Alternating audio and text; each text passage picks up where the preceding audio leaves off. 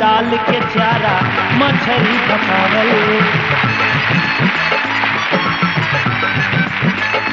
ओ, मकई के खेत में सूगा बेल गावल। बंसी में डाल के चारा मछली फसावल कबहू भुलई है नहीं, बीतल समैया। रखी है याद कैसे गुजरल लड़िकैया चाची के संकीर्तन गावल